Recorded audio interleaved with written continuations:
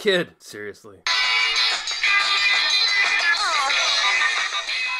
Hey Luke, Hey, what? you made me see a trailer. Sure did. It's a Aggretsuko, I think. Japanese death metal cat who has a day job. This is half Office Space, half Tootsie, half Mean Girls, half Metalocalypse, which comes to two, which is bad math and confusing, which is how I feel after this trailer. But you know how to say tea in Japanese now because they yelled it at her a bunch of times before she went to a death metal camp or something. What